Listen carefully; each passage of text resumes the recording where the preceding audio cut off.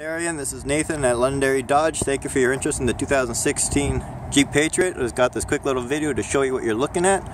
Now this is a 2.4 liter inline 4 and we're just going to take a peek inside to see some of the features. Now the Patriot does come with cruise control. It does have a traction control for the winter. There is a CD player. It has cup holders, sidearm storage, when we take a look here in the back, be able to show you the 60-40 split seat. Easy one-touch fold down. There you go completely flat to widen your back storage.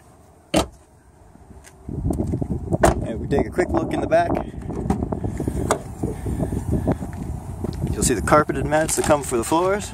Underneath there is a spare and jack assembly set.